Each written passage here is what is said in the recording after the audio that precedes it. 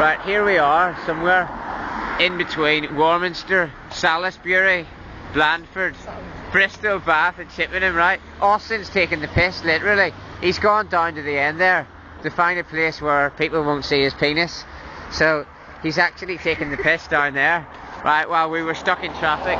But check out the countryside, right? That's an English hill. We'll be heading to some Welsh ones later, but there's a few farmers out there. There's a few farmers with their sheep out. Up there. Bit of traffic. Yeah, we're actually at a place called Folly Lane. So if you want to ever Google that, that's where we are.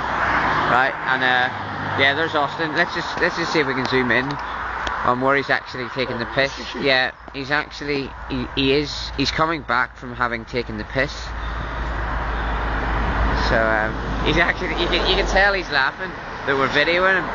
But you know when you're on a day trip to Hereford via Wales and you, you stop to take the piss at 9 a.m. you're going to get videoed. It's going to be videoed. Oh, Austin, back of the net.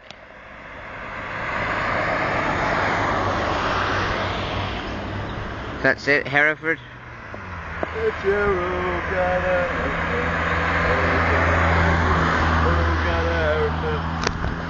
Take a piss by the side of the road.